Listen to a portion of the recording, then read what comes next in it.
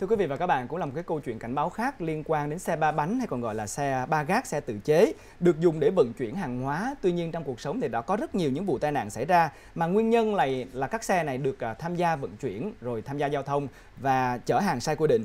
Điều đáng nói là mặc dù theo quy định Hà Nội đã bị cấm từ năm 2008 đối với loại phương tiện này, thế nhưng đến nay tình trạng xe ba bánh hoạt động vẫn tiếp tục là một trong những nỗi nhức nhối phức tạp, nhất là những xe chở vật liệu xây dựng gây ô nhiễm môi trường và bắt đầu di chuyển từ nội thành ra ngoại thành. Sau đây là ghi nhận của nhóm phóng viên kênh VTC9.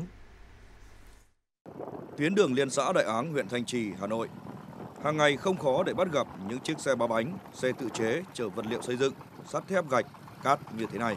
Điều đáng nói, các xe chở vương vãi cát sỏi gây ô nhiễm môi trường và hơn bao giờ hết là mất an toàn giao thông. Ngoài khói bụi ra thì còn ờ, vương vãi các vật liệu xây dựng giao thông và xe ba bánh thì chạy bằng ngày À, có khi còn không che chắn gì cả. Vào giờ cao điểm thì lại còn ờ, gây ờ, có các cháu học sinh ờ, cấp 1, cấp 2, cấp 3 ấy đi tham gia giao thông vào còn nguy hiểm lắm. Đây là nó có chạy mà mầm suốt ngày này, chở gạch, chở cát, xi măng các kiểu rồi. Còn tại tuyến đường Hồ Tùng Mậu, địa bàn phường Phú Diễn, quận Bắc Từ Liêm, để phục vụ công trình xây dựng, hàng ngày các xe ba bánh ngang nhiên đi ngược chiều, bất chấp vi phạm luật giao thông từ đường Phú Diễn hướng về ngõ 406 Hồ Tùng Mậu. Sau khi nhận được thông tin phản ánh, lực lượng đội cảnh sát giao thông số 6 công an thành phố Hà Nội đã tuần tra xử lý. Quay đi ngược chiều.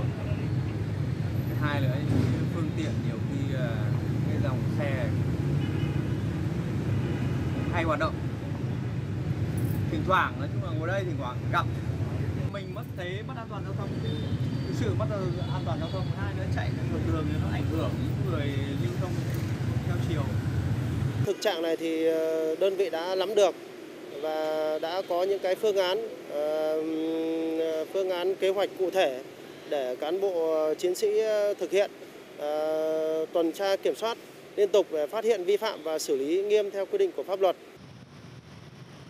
Theo thống kê tại Hà Nội, chỉ có khoảng 30 chiếc xe ba bánh được cấp đăng ký hoạt động để phục vụ nhu cầu đi lại của thương binh. Nhưng thực tế hiện có tới hơn 5.000 xe ba bánh tự chế hoạt động vận chuyển hàng hóa, các phương tiện tự chế không đảm bảo an toàn giao thông, hoạt động bất chấp luật giao thông, tiềm ẩn nguy cơ mất an toàn giao thông tại nội thành và ngoại thành. Cũng đã nhiều vụ tai nạn thương tâm đã xảy ra. Do đó, các cơ quan chức năng cần siết chặt quản lý đối với loại phương tiện này.